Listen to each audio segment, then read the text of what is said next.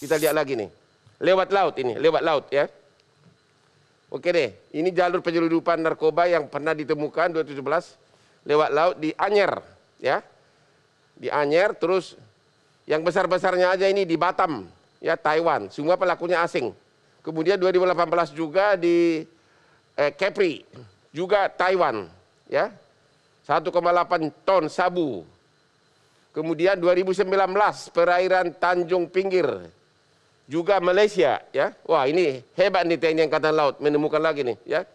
Kemudian uh, 2020 Aceh Timur, Malaysia juga ya. 81 kg sabu. Kemudian 2021 juga Aceh Timur.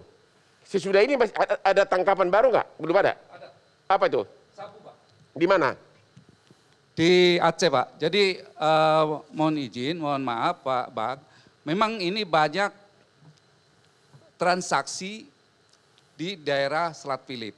Ya. ya. Mana dari Laut Andaman sampai ke Riau, ya. sampai ke Sumut juga itu. Ya. ya.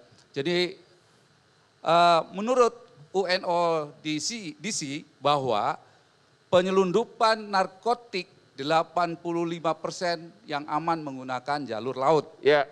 Medcom.id, a part of Media Group Network.